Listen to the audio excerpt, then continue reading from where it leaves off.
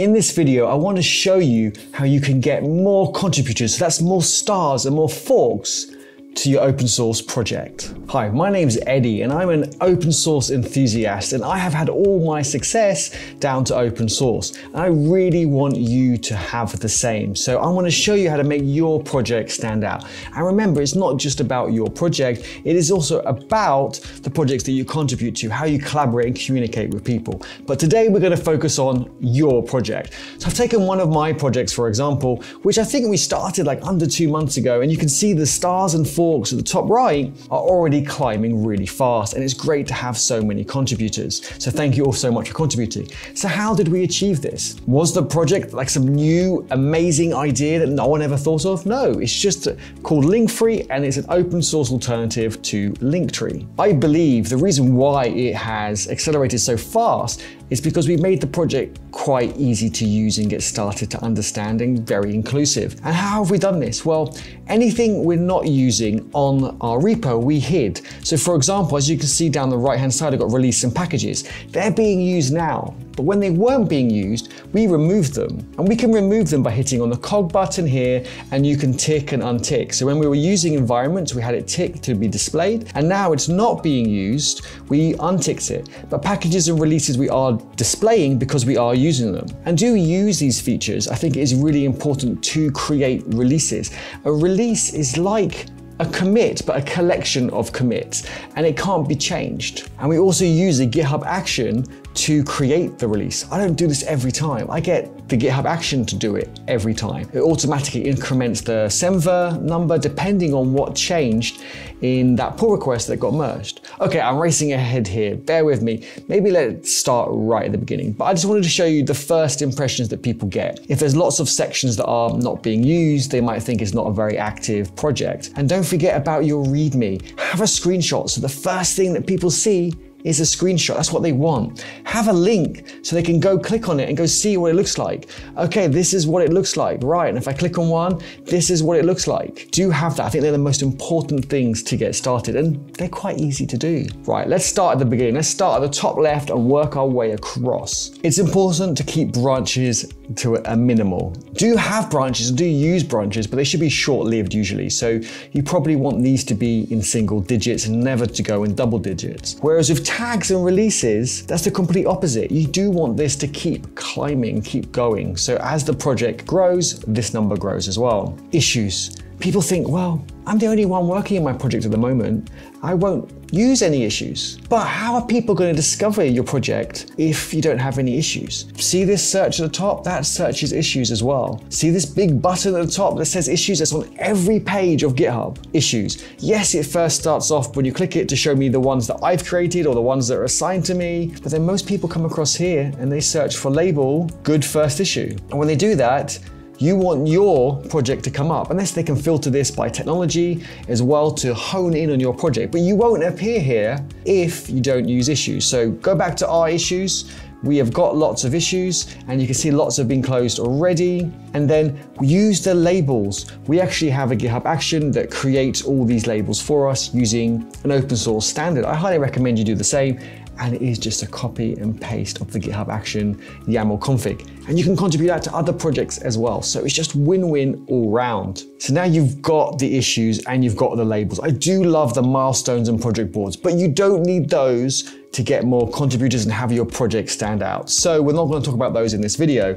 Issues and labels, definitely number one. Number two, use pull requests. Even if it is a friend of yours giving you a quick review on the pull request, then you can merge it. That looks really good. And also, you might learn from your friend, and your friend might learn from that. And it could be someone in the, in the community. That's how you get the project noticed. Imagine sharing the link of the project and just saying, hey everyone, star my awesome source awesome source. Star my awesome project. It sounds a bit spammy and people aren't gonna star it. They might not even go have a look at it. So the best way for this to work is to actually say, hey, I've made a pull request. It involves these types of changes. Be clear. Is it HTML, CSS, JavaScript, Ruby, Python, whatever.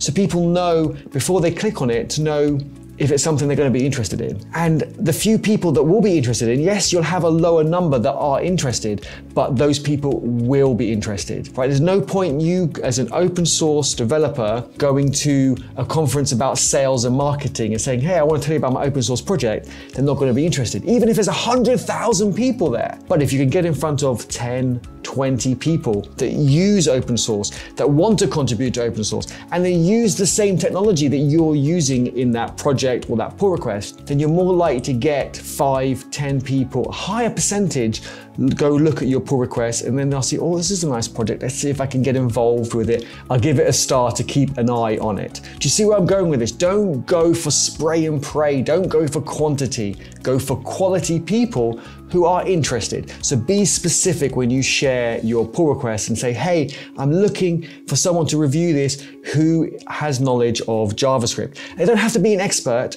A fresh pair of eyes of someone who's interested in JavaScript can add so much value to both of you. I can't recommend it enough. Remember, you don't want to be spammy. You want to show that you want to get some feedback and you can give some value in return as well. It's a two-way street. You're working together with people on open source. It is about collaboration and communication. Right, if you're not using discussions, turn it off. I highly recommend using discussions, but if you're not using it, maybe disable it. Same with the wiki. If you're not using the wiki, I highly recommend disabling it. Actually, I highly recommend not using the wiki and putting documentation within your README and the docs folder in your code base. Therefore, it can go through the same version control that your code does, your tests do. It can get reviewed, your documentation can get reviewed, and it's also about knowledge transfer as well. I think that's really important. So I highly recommend having a docs folder in your project. I always start off by using the README first, and as that the documentation grows, then I move it to the docs folder. And you can do always deploy the docs folder to GitHub pages with tools like Asciidoctor and so many other tools as well.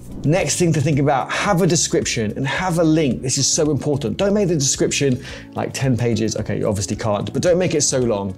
Keep it like one or two sentences, concise, important information about what the project is about. Have some topics, maybe not too many. Use releases and packages if you can. And packages are for, for example, your container. So if you're using Docker, again, if you're not using it, disable it. You don't need contributors in the README because GitHub shows contributors here.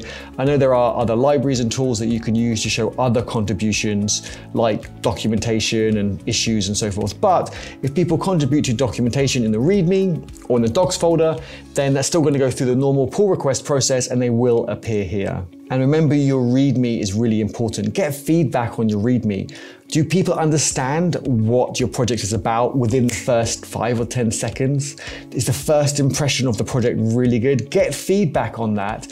And then that way you can make the project better and better for the next person, which is why I love it when I get a fresh pair of eyes on my project because we make it better for the next person and then for the next person afterwards. So if you want to get into open source and you're unsure where to start, then look at these welcoming projects. And the way you can find if a project's welcoming is you can go to the Insights tab on any project project, you don't have to be a maintainer.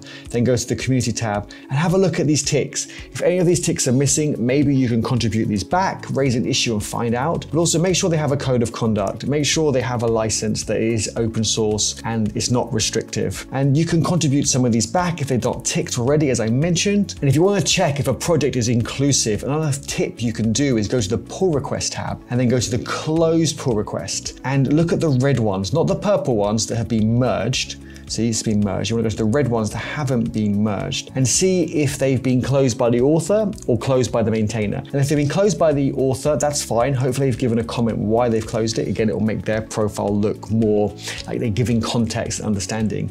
But also if it's been closed by the maintainer, do check and find out why and have they given a comment. So you can see this one was opened by one of our community members, Pankasito, and people have left some comments, approved and so forth, and Pankasito has closed So if the authors closed it, that's fine. Ideally, they would uh, give a comment. Okay, we've seen this here, so we have actually discussed in line. So I've said I don't think we should update other people's profile.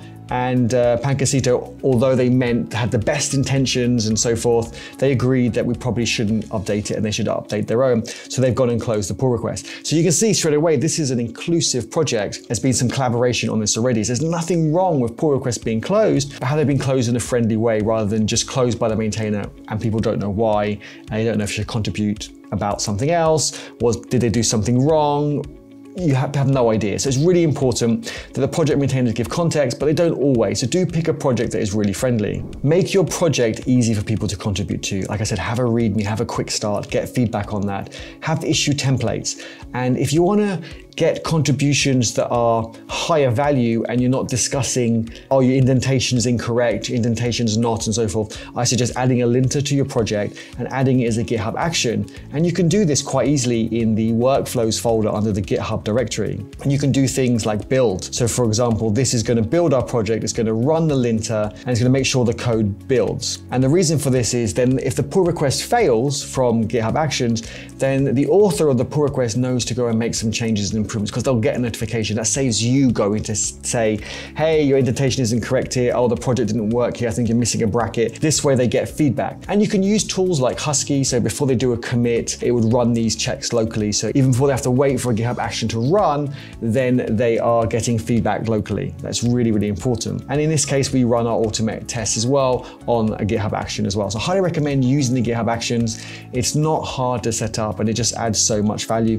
And it's always great to see the actions go green and the different steps within the GitHub Actions. I will be doing an in-depth dive into GitHub Actions later on, how you can make your own custom actions, but for now, you don't really need this. I really believe 80% of the benefit from GitHub Actions comes from a few lines of YAML config. And if you see any other projects, for example, like this one, where you think, oh, I like those actions, you can just go to the workflow directory and have a look how they do it. So for example, with the release, you probably literally can copy and paste this entire thing to get your releases created for you automatically. Yes, your commits will need the conventional commit messages for the GitHub action to trigger correctly, but that's easily done and you'll see some examples of that. Yes, you won't have this token. You can use the default GitHub token. I needed this because I'm chaining my GitHub actions. So little things like that might need tweaking, but 99% of it is going to stay the same. This video is probably getting long enough. Let me know your questions, your thoughts and your feedbacks in the comments below. I really love hearing them. Let me know if I've missed anything. Have you had any ideas that I didn't have? I'm always learning too. I'm here